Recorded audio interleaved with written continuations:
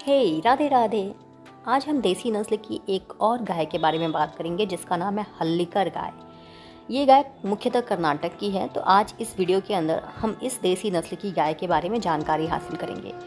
देसी नस्ल की गायों के बारे में बात करने से मेरा सिर्फ़ एक मकसद होता है कि आप देसी नस्ल की गायों से परिचित हो जाएँ यानी अपने देश की गायों से परिचित हो जाएँ। अपने देश में क्या क्या है और कितनी अच्छी अच्छी चीज़ें हैं वो आप जाने, हमारे एनिमल्स जो हैं, वो हमारे जलवायु के अनुकूल हैं। मतलब भारत में जितने भी एनिमल पाए जाते हैं, हर कंट्री की अपनी विशेषता होती है, लेकिन क्योंकि हम भारत में रहते हैं तो हमको भारत की जो प्रजातियाँ हैं, उनके बारे में जानना चाहिए। तो भारत में जो गायें हैं, उनकी अपनी खास विशेषता होती है, क्योंकि ये भारत के क्लाइमेट के हिसाब से एडॉप्ट होती हैं। यहाँ के नॉर्थ में साउथ में, हर हिसाब के क्लाइमेट के लिए ये एडॉप्ट होती हैं। क्योंकि आपको पता है, भारत जो है हमारा ये मानसूनी जलवायु पाई जाती है, यानी कि यहाँ यहाँ पे उष्ण कटिबंधी और उपोष्ण कटिबंधी दोनों प्रकार की जलवायु पाई जाती है। हमारे नॉर्थ में जो है उपोष्ण कटिबंधी और हमारे साउथ में उष्ण कटिबंधी जलवायु पाई जाती है। तो ये भारत का है। तो भारत में जब दोनों तरह की जलवायु पाई जाती है तो यहाँ पहाड़ी जलवायु, मैदानी जलवायु रेगिस्तानी जलवायु हर हर तरह की तो यहाँ पे हर तरह के एनिमल्स भी पाए जाते हैं। और ये यहाँ रहने के लिए अडॉप्ट होते हैं और इसीलिए यहाँ के लोगों के लिए भी ये बहुत ज़्यादा बेनिफिशियल होते हैं। लेकिन हम इनके महत्व को जान ही नहीं पाए जान ही नहीं पाए। आजकल क्या है कि हम अपने ओरिजिन की तरफ़ उत्सुक हैं ही नहीं।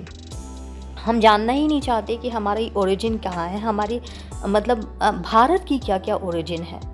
तो आप इससे परिचित हो जाएँ। इस वजह से ये वीडियो मैं बनाती हूँ और मुझे, मैं भी एक्चुअली इनसे परिचित होना चाहती हूँ। इस वजह से ये वीडियो मैं बनाती हूँ। तो इस वीडियो में मैं हल्लिकर गाय के बारे में बताऊँगी आपको। तो चलिए जानते हैं। हल्लिकर गाय कर्नाटक की गाय है, जो कर्नाटक के बहुत सारे ज़िलों में पाई जाती है। जैसे बेंगलुरु और ज़िलों में कर्नाटक में ये पाई जाती है। हल्लीकर नाम कैसे पड़ा इस गाय का? तो यहाँ एक हल्लीकर जनजाति पाई जाती है और इसी जनजाति के नाम पर इस गाय का नाम हल्लीकर गाय पड़ा। हल्लीकर जनजाति का जो मुख्य पेशा है, वो पशुपालन ही है और इस गाय का नाम भी हल्लीकर है। हल्लीकर प्रजाति की जो गाय होती हैं, देसी गाय जो होती हैं, ये बहुत ही मज़बूत गाय मानी जाती हैं। इनके नंदी और गाय दोनों ही बहुत मज़बूत माने जाते हैं। और इनके, और ये दक्षिण भारत की गायों की प्रजाति में सर्वोत्तम प्रजाति मानी जाती है। ये दक्षिण भारत की गाय है और दक्षिण भारत की गायों की प्रजाति में हल्लीकर गाय सर्वाधिक अच्छी प्रजाति मानी जाती है। मतलब सर्वोत्तम, सबसे अच्छी प्रजाति मानी जाती है। क्योंकि इसका दूध इसकी, ये दुधारू गाय भी, ये बहुत अच्छी दुधारू गाय भी होती है और क्योंकि ये गाय बहुत मज़बूत होती है, इसके पैर बहुत मज़बूत होते हैं और लंबे होते हैं। इनकी पूछ जो होती है, इनके पैर के पिछले पैर के टखनों से बहुत नीचे तक होती है। तो इस वजह से ये बहुत मज़बूत गाय होती हैं। ये लंबे समय तक आराम से बहुत कम चारे में चल सकती हैं और चलने के बाद अच्छा दूध होती हैं। हर देसी नस्ल की गाय की एक खासियत होती है कि इनको आप कम भी चारा देंगे ना तो भी ये अपना प्रॉपर दूध देती हैं। ऐसा नहीं है कि देती नहीं है। जितनी इनकी क्षमता है, उससे चलिए एक आध लीटर कम हो जाता है, लेकिन ये देती हैं। तो इनको बहुत ख़ास ख्याल नहीं रखना पड़ता है।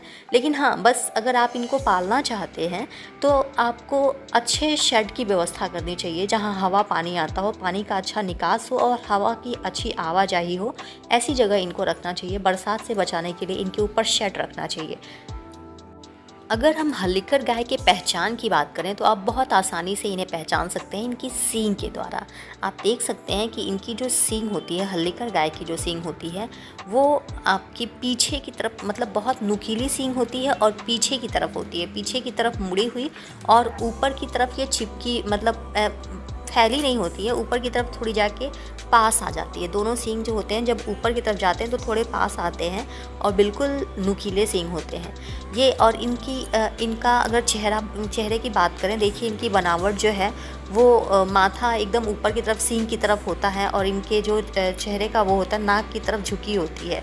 आप देख सकते हैं और जो इनके गल कंबल होते हैं, वो बहुत ज़्यादा लटके हुए गल कंबल हल्लिकर गाय के जो गल कंबल होते हैं, बहुत लटके हुए नहीं होते हैं।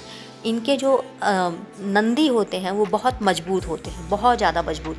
आप देखेंगे कि इन किसी भी तरह का कृषि कार्य जो इनके नंदी होते हैं वो कर सकते हैं किसी भी तरह का। आप ये देखिए यहाँ ये गाय है इसके पैर कितने बड़े हैं।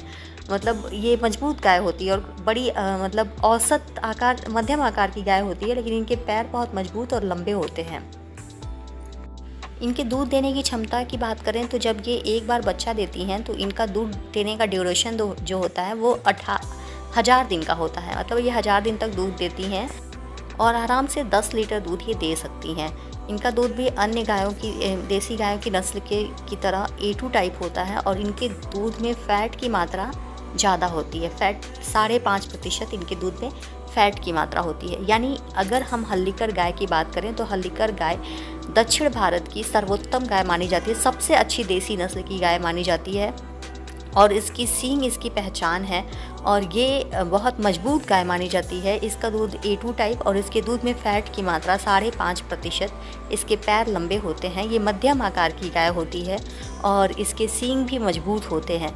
इनके नंदी बहुत मज़बूत होते हैं, जिनसे आप किसी भी तरह का कृषि कार्य या ढुलाई का कार्य करा सकते हैं।